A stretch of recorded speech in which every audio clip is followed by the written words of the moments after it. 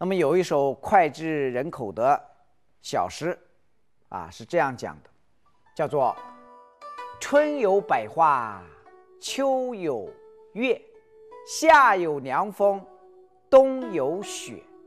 若无闲事挂心头，便是人间好时节。”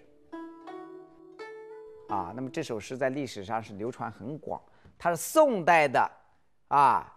一位高人，那么现在他是啊中国人呢家喻户晓的一个最著名的诗歌之一啊。那么啊，春来百花香，秋来月色美，是吧？夏天凉风爽，冬日瑞雪飞，一年四季都有看不完的良辰美景，赏不完的良辰风花雪月啊。但是这首诗的关键在什么地方呢？这首诗的关键在于“若无闲事挂心头”。啊，如果我们的心头有了杂事，我们就被这个杂事给蒙住了。那么这时候，再好的良辰美景对我们都没意思了。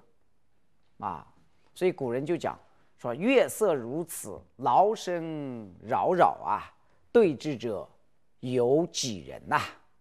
这个意思就是说，虽然美好的这种景色对任何人都是一视同仁的话，但是我们匆匆忙忙啊，在这个世界上啊，都在奔走，都在追逐。那么能够感受到景色美妙的，那是很少很少的一部分人。为什么？因为我们有闲事，是吧？有杂事，有欲望，把我们的心头给遮蔽了，给蒙蔽了。